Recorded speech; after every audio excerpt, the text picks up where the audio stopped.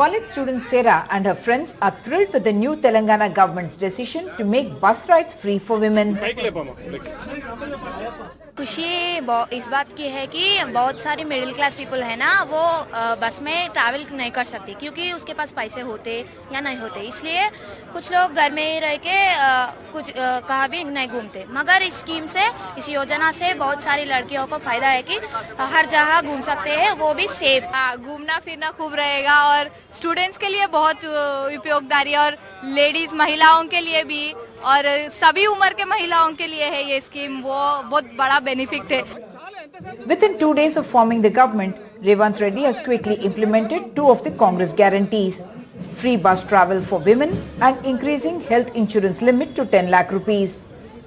Yeah, for women bus free bus, we launched it today and we started on the occasion of Sonia's birthday.